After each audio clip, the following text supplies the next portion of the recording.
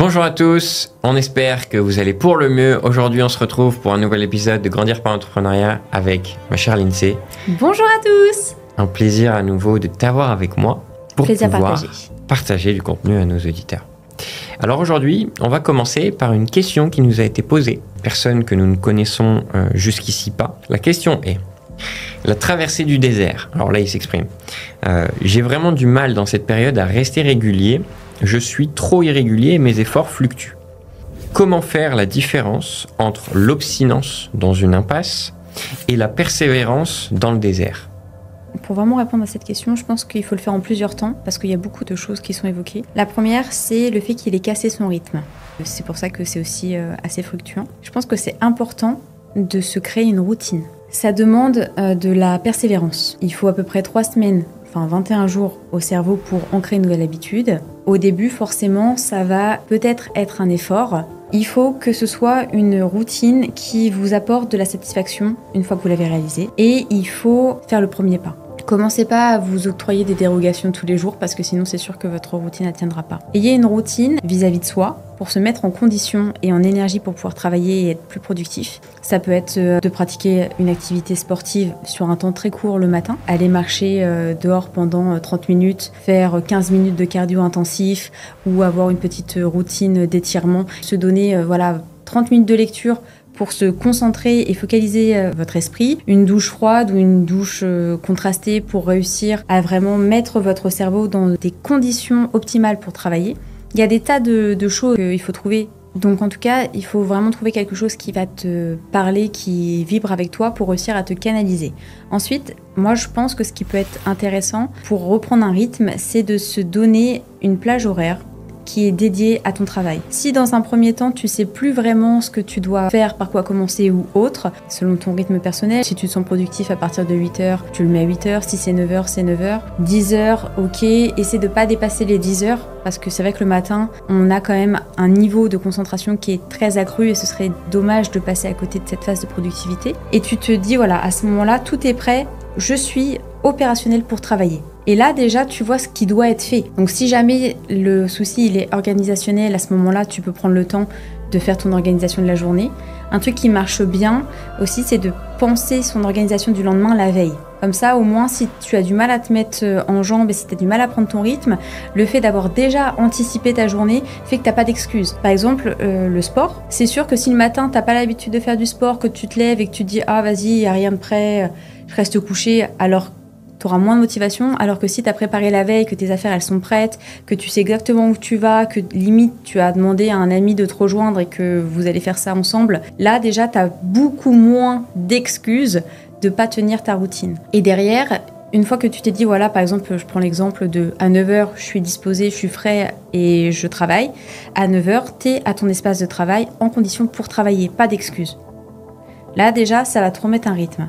Et déjà, tu vas voir aussi, ça va te galvaniser, tu vas avoir envie d'y aller, d'en faire plus et de vraiment faire peut-être ce qui est essentiel. Parce que des fois, ce qui bloque aussi l'avancée dans le, travail, et notamment dans l'entrepreneuriat, c'est a un moment, quand l'organisation a été un peu euh, fluctuante comme ça, on se retrouve avec des tâches qu'on aime moins, des choses qui sont moins attrayantes et qu'on a tendance à vouloir repousser, repousser, repousser. Et bah oui, sauf que si tu as choisi la vie d'entrepreneur, il y a un moment, t'as pas le choix, faudra mettre les mains dans le cambouis. Vas-y avec un état d'esprit où tu sais que ce que tu vas faire, ce que tu vas réaliser, va t'apporter quelque chose d'encore mieux et d'encore plus grand et de vraiment salutaire pour ton entreprise.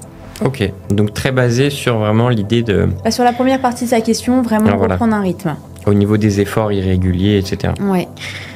Ouais, c'est vrai que je suis assez aligné avec ce que tu dis.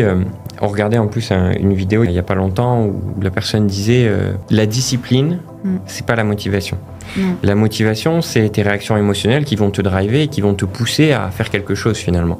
Alors que la discipline, c'est indépendamment de la motivation, que tu sois motivé ou non, quelle est finalement toi, ta capacité à te cadrer, te mettre des tâches de manière euh, pragmatique, bête, disciplinée et les faire? Et à partir de là, bah, en effet, tu vas créer une certaine discipline. Alors toi, que tu appelles aussi en partie une habitude, parce qu'une habitude peut être une manière de te discipliner aussi. Une Euh, routine. Une routine. Une routine, oui. Euh, mais il faut s'y tenir. Et en fait, les gens qui sont des fois pas les plus motivés, mais qui sont les plus disciplinés, auront plus de résultats parce qu'ils feront bêtement le travail. Psy Tu parles de la traversée du désert. Alors j'aime bien l'idée parce que l'image est forte, mais euh, je pense que parce que tu as fait preuve d'irrégularité, tu t'es trouvé dans une situation où ce que tu fais n'est pas au meilleur de ce que tu peux faire parce que tu n'es pas constant. Et donc naturellement, tu n'as pas les résultats escomptés pour pouvoir analyser ce qui va ou ce qui va pas. Tu te concentres sur plusieurs sources d'acquisition, sources de présence, sources de visibilité peut-être auprès de l'audience. En gros, tu es partout sans être concentré sur un élément et performer dans cet élément. Donc, il y a un tout, c'est savoir, ok, tu es dans le désert, pourquoi tu es dans le désert? Est-ce que c'est parce que tes sources d'acquisition, tes outils d'acquisition, ce que tu as mis en place, tes process, sont pas bons Ou est-ce que finalement, peut-être que ça y a eu des process qui sont bons, mais qui, où il n'a pas eu assez de régularité? Je sais pas. Ou qui lui conviennent plus peut-être aussi. Ou qui lui conviennent pas, exactement. Donc, il faut que tu te poses la question de pourquoi. C'est pas juste, ok, je suis dans le désert, non. Pourquoi est-ce que je suis dans le désert? Et à partir de là, tu analyses. Tu analyses les datas, tu analyses ce qui a pu marcher, ce qui a pu moins marcher dans ce que tu as fait, ce qui a eu plus de vues. Alors même si c'est des vues qui sont relativement euh, faibles, eh ben, tu as quand même une variante entre 50 vues et 200 vues. Donc Qu'est-ce qui fait cette différence? Avant, moi, j'aimerais juste euh, rebondir sur quelque chose que tu as dit sur la première partie. Je pense que appliquer bêtement, ça marche au début, mais je pense que c'est quand même pas ce qui fait tenir une routine. Je pense que ce qui fait tenir une routine, c'est aussi le fait de sentir que ça apporte vraiment quelque chose de positif pour soi. C'est-à-dire que ce qui va vraiment ancrer la, routine, l'habitude, je pense que c'est quand même les effets bénéfiques qu'on en retire et comment on se sent. Et je pense que c'est important de se dire que à chaque fois qu'on fait quelque chose, d'agir en conscience et de se dire oui, ça c'est quelque chose qui me fait du bien. Et c'est pour ça qu'on a envie de le refaire en fait. Il faut quand même avoir conscience des bénéfices que ça a sur notre corps, parce que je pense que c'est, enfin, notre corps, notre esprit, euh, tout ce qu'on est, je pense que c'est ce qui ancre finalement au final l'habitude. La motivation seule ne suffit pas. La rigueur seule, au bout d'un moment, euh, risque de ne plus suffire. Je pense que ce qui fait la discipline, c'est les deux. C'est qu'il faut une rigueur qui va amener de la motivation, qui va engendrer plus de rigueur qui va générer encore plus de motivation. Et je pense que c'est comme ça que Crescendo, on crée une grosse discipline. Donc c'était intéressant ce que tu as pu euh, partager. C'est vrai que moi j'étais parti sur le fait induit que la personne a fait ses recherches en amont de où est-ce qu'il met son énergie et son mm. actions. Mm. Donc forcément pour moi c'était logique que s'il les met là, c'est qu'il faut les mettre là. Faire la recherche en amont de où mm. est-ce qu'il faut mettre l'énergie et pourquoi, quel est l'intérêt, quelles sont les actions et à partir de quel moment ces actions sont censées avoir du résultat aussi, parce qu'il faut savoir aussi euh, mhm. quantifier et aller jusque-là. Et c'est à partir de ce moment-là, en mhm. effet, qu'il faut être bête et discipliné et simplement faire les actions euh, bêtes et méchantes, tu vois, comme je disais. Je vais essayer de donner un exemple concret pour matérialiser aussi pour toi, ça y est. Je dois faire du contenu et il faut que je poste euh, une fois tous les deux jours, peu importe. Pourquoi est-ce que déjà je crée du contenu? Bah, Je crée du contenu parce qu'il faut que j'aie de la visibilité. Seulement l'algorithme, j'ai bien compris que si je poste pas au moins une fois tous les deux jours, bah, il va me boycotter, il va avoir du mal à me mettre en avant, etc. Donc ma discipline que je dois avoir, c'est poster tous les deux jours. Le sujet, là, il va falloir récolter les datas évidemment. Mais le fait de poster, ça, ça doit pas être intellectualisé, c'est le fait de faire l'action. Par contre, la préparation du contenu en amont pour avoir quelque chose qui est réfléchi vis-à-vis de l'audience, là, ce serait intéressant d'y réfléchir. Finalement, il faut regarder, ok, qu'est-ce qui parle à la cible, pourquoi, comment, qu'est-ce qui est aligné avec l'offre que tu vas proposer derrière, etc., etc. Donc ça, c'est en amont. Une fois que ça c'est ok, que tu as ton plan de poste sur, je sais pas, tu te fais un challenge sans poste et que tu sais qu'il faut que tu fasses le taf de 100 postes et que tu as déjà préparé ton contenu, métrie cool pour la planification du travail, et, euh, après simplement faire le job. Bah, c'est simplement poster ce qui a été fait. Poster, poster, poster dans le rythme qui a été donné et dans le délai qui a été donné. Tu voulais ajouter quelque chose?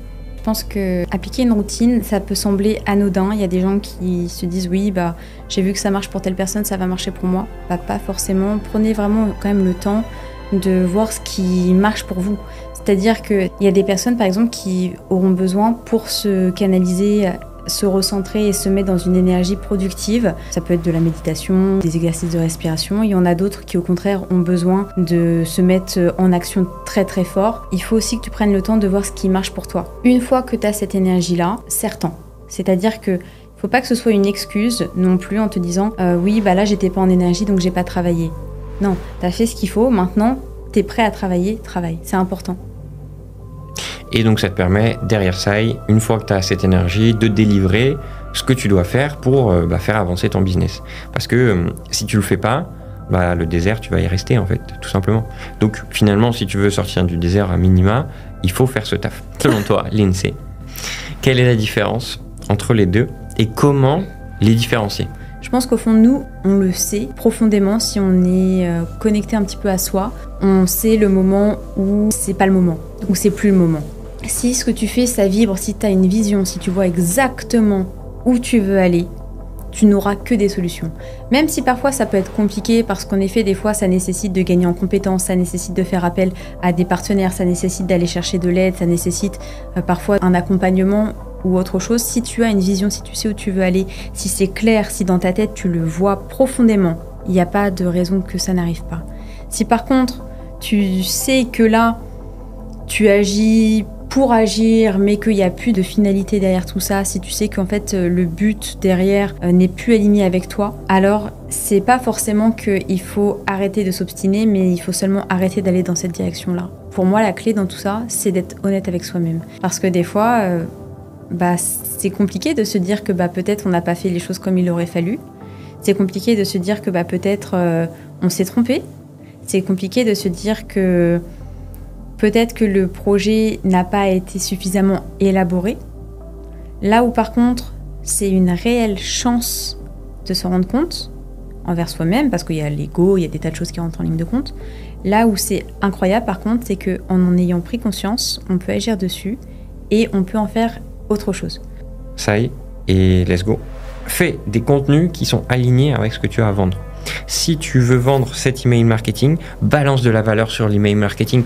Divise tous les stades du monde en plusieurs contenus et euh, crée ces fameux reels que tu vas créer, 60 reels pendant 60 jours. Et eh bien, pour le coup, sur ces éléments-là de l'email marketing. Plus tu vas apporter de valeur sur l'email marketing, plus les gens seront tentés de s'intéresser à ce que tu sois le prestataire qui va s'occuper de leur email marketing. Donc voilà, aligne vraiment ce que tu proposes et ce que tu apportes en termes de valeur, de contenu à l'offre que tu as derrière. Est-ce que tu veux ajouter quelque chose par rapport à ce que tu as vu? Ah bah, Je regardais. Après, je sais pas si c'est son... Si son compte pro, si c'est son compte euh, perso, peut-être. Hein. Ouais. C'est peut-être pour ça aussi. C'est peut-être un euh, peu des deux. C'est peut-être euh, pas son compte professionnel non plus. Ouais. Donc c'est peut-être pour ça qu'il partage des contenus plus personnels qui lui, qui l'ont impacté lui. Je sais pas s'il a un, compte pro. Je pense que c'est ça. Je pense que c'est un mix. Et dans ce cas-là, un compte n'est pas gênant d'avoir un peu de perso dessus. Hein. Ça peut être justement des choses qui montrent un peu notre vie tous les jours et le côté humanisant. Dans ta bio, en effet, mets un lien qui redirige sur un site, si tu as un site. Si tu pas de site, au moins sur un calendrier, tu vois, genre un lien métricool que tu peux avoir personnalisé où tu as euh, ton nom, euh, ton offre, ce que tu fais, j'accompagne, euh, ta description, la description de ce que tu fais en vraiment trois lignes et un lien vers ton calendrier. Book un rendez-vous pour voir si tu es éligible à mon accompagnement, à ce que je t'aide. Parce que, voilà. Donc, ça, c'est le minimum pour que tu puisses être opérationnel et que tu puisses euh, récolter les leads. Parce que euh, si tu n'as rien pour récolter les leads, euh, les gens te voient, mais tu récoltes rien. quoi. Donc à minima, récolte ces contacts et tu peux les recontacter après, toi, comme ça. Bon, tu fais de l'emailing, tu sais très bien que tu peux créer des flows si tu récoltes leurs contacts qui te demandent un rendez-vous calendrier. Donc tu les intègres dans un flow et terminé, tu sais très bien que tu vas leur vendre un truc au bout d'un moment. L'idée c'est ça, c'est que tu mettes en place ces choses-là. La création de contenu elle est bien à côté parce qu'elle te permet d'être visible et présent. Euh, donc euh, bah, bon courage pour ce challenge des 60 jours et j'ai hâte de voir ce que ça va donner. Je vais essayer de suivre euh, ça pour le coup et je vais même te suivre et ouais, vraiment hâte de voir ça. En tout cas bon courage ça pour tout. Je pense que tu es sur la bonne voie. Implémente tous les conseils qu'on t'a donnés et puis on se dit à très bientôt. À très vite. Merci à tous d'avoir regardé. On espère que ça vous a plu. Évidemment, si ces partages et les conseils qu'on a pu donner, en l'occurrence à d'altitude, alias Sai, euh, ont été bons et vous ont servi aussi, euh, likez, commentez pour nous soutenir et nous permettre de créer toujours plus de contenu et d'apporter toujours plus de valeur aux personnes qui nous découvriront et qui euh, feront partie de l'aventure avec vous. À très bientôt. Merci à tous. Et ciao ciao